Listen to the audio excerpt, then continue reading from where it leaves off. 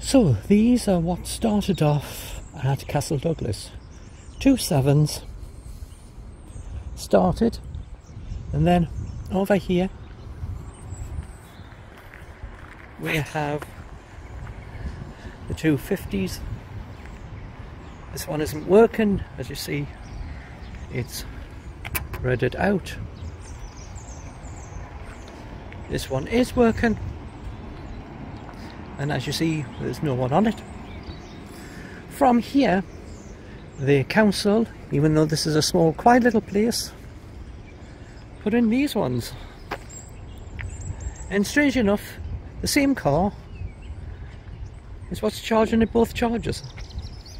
So there is 10 units, two sides, 20 cars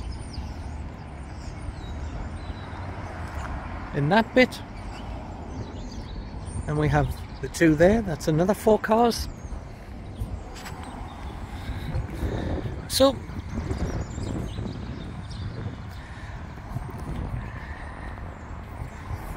this is what we have here.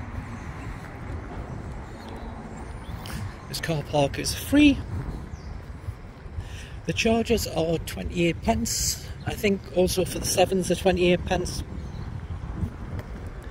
and all you have to do is just come out of the car park towards this corner. This is the swimming pool. That's here. And you see this building along here. That's the start of the main high street which runs in that direction. So you're right beside the shops being here so with that,